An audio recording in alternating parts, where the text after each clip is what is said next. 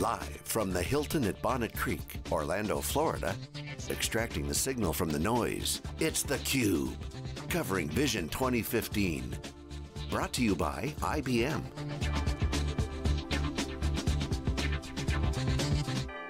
Welcome back to IBM Vision, everybody. This is Dave Vellante with my co-host Sam Kahane. This is theCUBE. We're here live in Orlando. Ben Casnocha is here, noted author, entrepreneur, thinker, Ben, welcome to theCUBE. Thanks so much for coming on. Thanks for having me. Coming off the keynote this morning, you challenged the audience uh, to actually think about themselves as entrepreneurs. You laid out a bunch of adjectives, all the things that we want to be associated with, agile, innovative, entrepreneurial, and um, it was very inspiring. So thanks for that, and what's your overall message?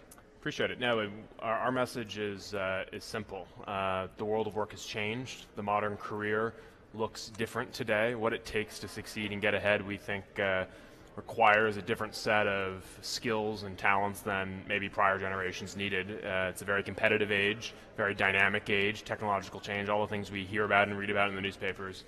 So we believe that the best way to adapt yourself, the best way to survive and thrive uh, amidst all these challenges, is to study what entrepreneurs do when creating amazing businesses. Because when you create a business, you do so in conditions of great uncertainty, lots of change, lots of competition. So study how entrepreneurs adapt their businesses, study how entrepreneurs build networks, study how entrepreneurs take risks, and then apply those very same skills to your career and, and think of your, your own life, your own career as a business of one, as a startup of you. I got to ask you, so a lot of the theme of this conference is, is essentially machines doing cognitive work to help humans do better predictions. But when I think about entrepreneurialism, so much of it, you asked the question today, how many people here would consider themselves entrepreneurs on a scale of one to 10, 10 being you know, better than Steve Jobs. So obviously yeah. no tens. In this audience, a couple of sevens. But gut feel, you know, is gut feel a critical factor for an entrepreneur? You mean intuition? Yeah, intuition. Yeah, I think so. I think, you know, whether it's man or machine, whether it's intuition versus analysis, the answer is usually both. Um, so it's man plus machine equals uh, the greatest uh, discoveries and revelations. In creativity and new ideas and adaptation, it's your intuition combined with thoughtful cost-benefit analysis or whatever the analysis might be. And so I think maybe to your larger point, Dave, on how kind of innate is an entrepreneurial disposition versus learned skills, I think it's both. I think um, personality tends to be something that uh, you're born with, and certain personality types and inclinations certainly lead somebody to be more or less entrepreneurial. But I also think there's a set of uh, set of real skills, um, real strategies, specific ways that entrepreneurs, for example, devise a plan, knowing that they're going to have to adapt the plan. Specific ways that entrepreneurs tap their network for intelligence in order to make better decisions. And I think anybody is capable of acquiring those skills. Yeah, so I think of like my old boss, the self-made billionaire, Pat McGovern. He did a lot of research, he had a huge network, but he was sampling, but he was doing yeah. a lot of data gathering. So what's changed today? Is it just more data, this sort of, you don't have to do these little bits of sampling, or is that kind of sampling still critical and you're complementing that with massive yeah. injections of data? Well, you know, one of the things we say in the book, The Startup of You, is that we live in a networked age. Uh, and we talk about the concept of network literacy.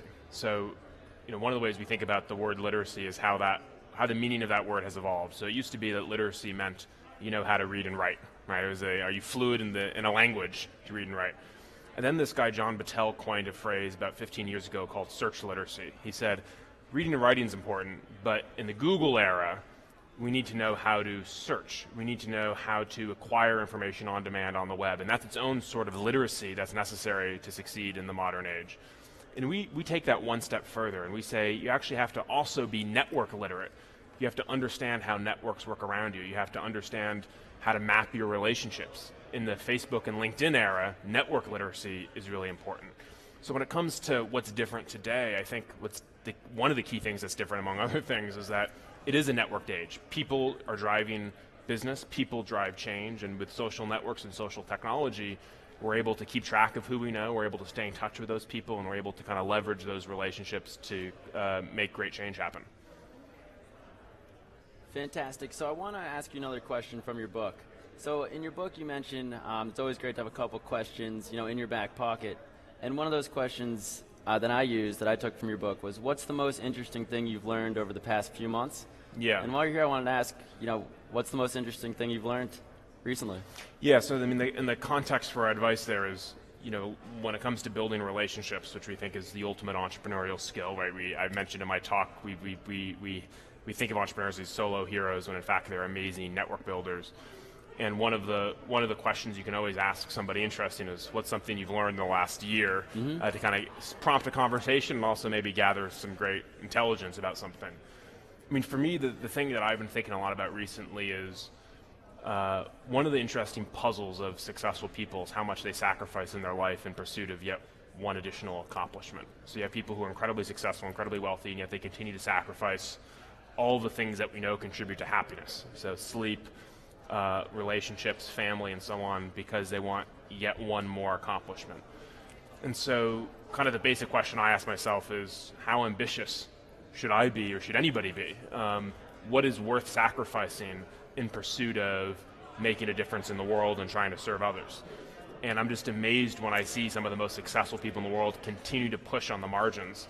And it's, you know, I think a pretty fundamental like life philosophy question that I think we all will grapple with all the time, but I'm especially grappling with it as I think about what I want to be doing long term. I was I was speaking to an entrepreneur recently uh, whose company got acquired, um, and I asked him, "Are you sorry now? Now that you know what you know that you, you got acquired? Because clearly you, you could have like run this thing up." And he said, "No, no way.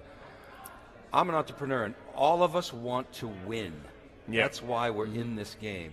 And I think the best chance at winning was my company getting acquired, and I'm winning now. Yeah. It's I'm reminded of pro athletes who have this innate desire Hmm. to win. Is that does your research show that that there's this? Is, and you're talking about sacrifices. Yeah, I, I think the thing is, is I think we all, a lot of entrepreneurs, a lot of athletes are very competitive and they want to win and they put themselves in situations where they can win. The question I wonder about is, once you win, how does it feel? It often doesn't feel as good as you think it would. I mean, there's this, there's a, there is an amazing amount of research, plus anecdote would reinforce when you talk to people. Uh, how is your life different? How much happier are you? How much more meaning do you have after they've sold their company, after they've won a championship? And the answers uh, coming right on the heels of the event tend to be, you know, pure euphoria. But six months, 12 months, 18 months later, it's kind of back to how it was before. And, and that's why this theme of never enough. It's like you need one more accomplishment, one more success. Oh, I'll be happier if I just have one more million in the bank. Um, but is that the case, right? And, and to me, seeing that it sometimes isn't often the case is what's giving me pause when I think about why am I, is it worth being so ambitious and willing to sacrifice to get that one incremental victory? so you're talking about John Battelle's search learning, uh, Yeah, search literacy, search yeah. uh, concept. The most interesting thing I learned in the last month or so was that I didn't realize that that the greatest chess player in the world was not a computer. It's actually a combination of computers and human teams. Yeah. Garry Kasparov formed these teams, and and so it, it dawns on me that the creativity of humans complementing machi- machines is has quite potential for, for entrepreneurs. And then you talked about reading, writing, uh, the three R's, reading, write, writing, arithmetic. Are we teaching our students the right things? Do we need to do math in our heads? Do we need to do, you know, formal writing? You know, or do I- we need to focus more on creativity and combining ideas? I think certainly more on creativity. I think the, the broader question to ask is do we need to put our faith in the formal schooling system, or uh, can we simply teach either at home or perhaps at school or in church or whatever the institutions are uh, a kind of instinct for uh, self learning and permanent growth? Um, because a lot of times when we think about how to make the world a better place or shape a population, we go to how do we reform the school system? to me, it's like someone's in K 12 and maybe higher ed, and then they're 21 or 22 years old, and they've got 70 years ahead of them when they actually need to continue to learn. People that think that, oh, now I've, whatever I've done in school is all I need to know, they're setting up themselves up for failure. So to me, the really interest, interesting question is not what do we have in the curriculum, but how do we inculcate an instinct for lifelong learning so that when the world changes, when it's no longer network literacy, it's the next thing, they're ready to succeed. So are, is, are entrepreneurs inherently autodidactic? Are they sort of, can they teach themselves? Is that a trait yeah, that you I, see? I, I, well, I think it's, I think it's, I think there's an inclination. I also think it's, it's a, it's an instinct that you can learn, in a sense, uh, sometimes by necessity, um, kind of throwing yourself into the deep end. I think people that will take a risk and realize, oh my God, I'm dead unless I learn this new skill, unless I meet this person. that tends to be a pretty quick way to force yourself to do something. So I think entrepreneurial people recognize they need to always be learning, and uh, they find it within themselves, or they partner with people who can help them uh, learn whatever it is they need to know in order to uh, get ahead. So when you talk about continued learning, how do you personally, you know, get, you know, do you read books? Do you go on the internet? What is your personal source for new information? Well, everyone's different in this. So mm-hmm. there, there's, uh, we all learn differently, process information differently. I tend to be a huge uh, consumer of written content. Um, for example, one of the reasons I never enjoyed school was like if you say, like, shut up and sit in the back of the class and just listen to people talk at you all day, I'm like, that's prison. You know, I, am not learning very much. I have no autonomy. Um, and so even going to conferences, you know, I hate listening to speakers speak for the most part because I just don't learn that way. Um, to me, far more efficient and effective to read a book um, take notes, and then write about it. It's like the process of reading, the process of writing. So I'll read books, and then I'll write reviews of the book, or I'll read books, and then write notes about the book. And that's how I learn and process. I think the the, the interesting question is like there's some knowledge that we can acquire that's kind of like I'm reading the uh, Robert Caro LBJ biography series right now, and it's like kind of fascinating, you know, history of a time in American history and a portrait of a someone who was incredibly ambitious and sacrificed an awful lot to reach mm-hmm. the peak of power. That's like to me useful knowledge to have. The day-to-day knowledge that I need to make a great decision, everything from the utterly banal, like where should I grab lunch in Orlando, to um, you know what's the right uh, uh, like what's the right event that I should participate in. For those questions, I learn through talking to my network.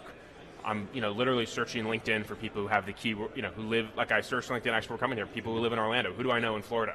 Um, or who knows something about the consumer electronics industry if I'm evaluating an opportunity there. So, so that's what I mean when I say network literacy. It's for the day-to-day decisions that require or benefit from subjective judgment or insight. It's tapping the network. And that's the way I learn to make those decisions. You know, it's interesting. Uh, so many people criticize social media you know, yeah. because we're doing this at restaurants all day. But LinkedIn is quite interesting in that, in the way you're prescribing using LinkedIn, search, you know, who you know in Orlando, and what? Yeah. Pick up the phone, talk to them, text them. I mean, sure, get absolutely. in touch with them, yeah. interact with them. Yeah. It's, it's, it's, I mean, the, the social media is just the first step towards a, a real rich interaction. Maybe it's in person, maybe it's phone. Nothing precludes those avenues. The thing is, it's just, it's hard to remember who do you know and what do they know. And so all we're doing is just kind of making that more accessible to every every every person in the world. Right. You go you go to LinkedIn. Oh, I'm, I'm this person's the first connection. then you think about oh, or, or it's no, or it's person's one degree away. I mean, part of the genius, and this is this is a big difference between Facebook and LinkedIn. I mean, LinkedIn.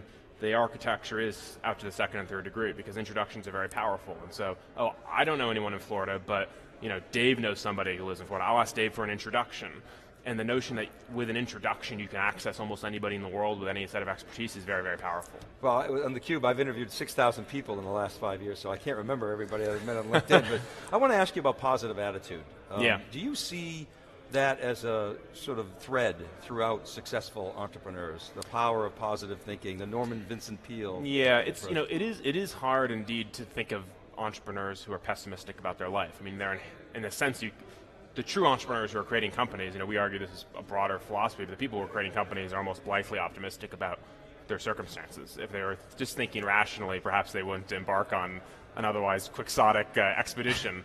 Um, I think the thing, you know, I'm always interested in, you know, holding two ideas in opposition uh, in your head at once. So, uh, in this context, I think optimism is really powerful, really important and there's lots of research in positive psychology, and that's a new movement. And you know, psychology historically was this kind of field of negativity, and just in the last 20 years, people like Martin Seligman and others have written about positive psychology very powerfully.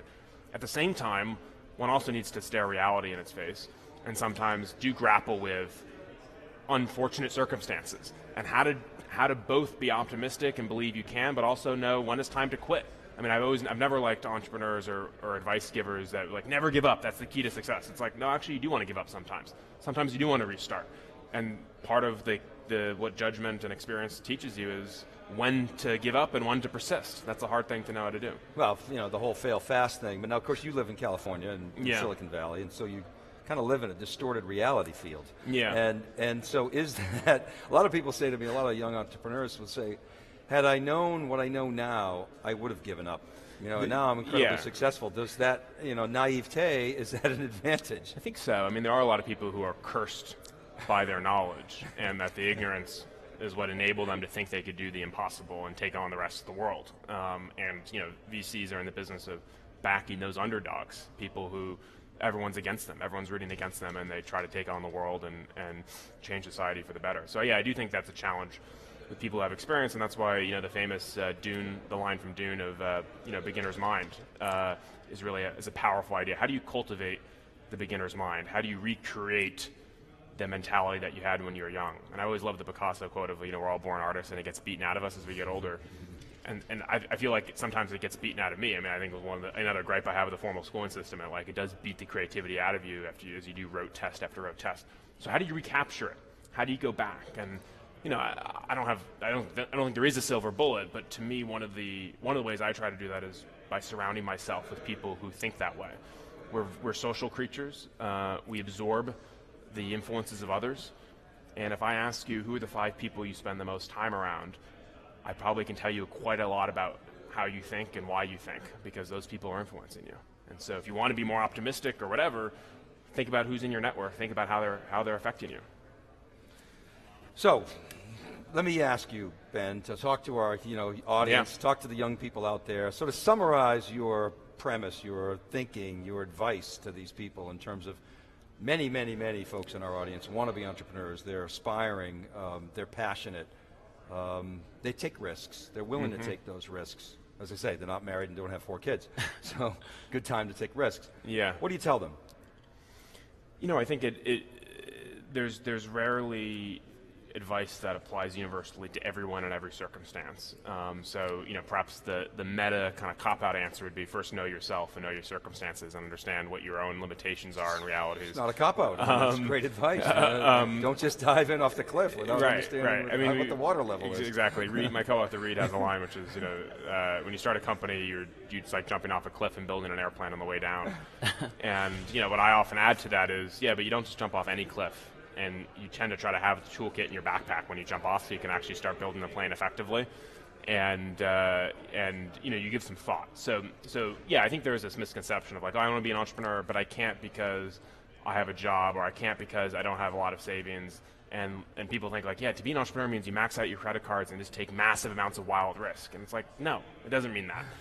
uh, in fact, uh, you want to take incremental risks. You want to take small steps. You want to be experimental. You want to start a side project. You want to be learn by doing, iterate, and you can take baby steps and inch toward inch your way towards uh, whatever your dream company is.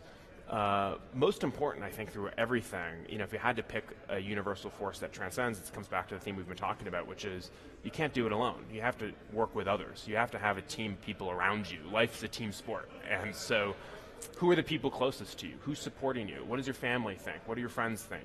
Who are your mentors? I mean, for me in my own life, that was just absolutely key. I think every everybody who's had successes or failures point to the people around them as as the reasons they were able to be their best self. And uh, if you, a lot of young people say, "Well, I don't know anybody, right? I don't, and, and I don't know anybody who could help me."